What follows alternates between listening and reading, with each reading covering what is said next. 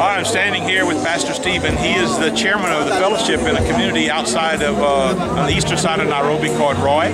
And I just asked him to just give a little quick testimony of, of, how this has been an awesome day today. Thank you so much. I'm uh, the pastor in charge, Reverend Stephen Kenodia. And uh, I want to say that uh, the meeting was powerful, the attendance was great, and uh, the servants of God have been so much touched by the teaching today.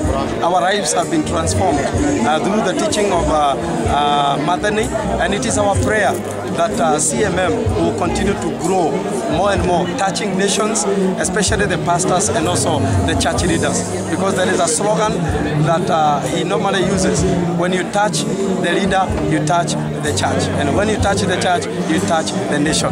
So it is our prayer that uh, God will continue to use Madane and uh, the Madane family and CMM at large.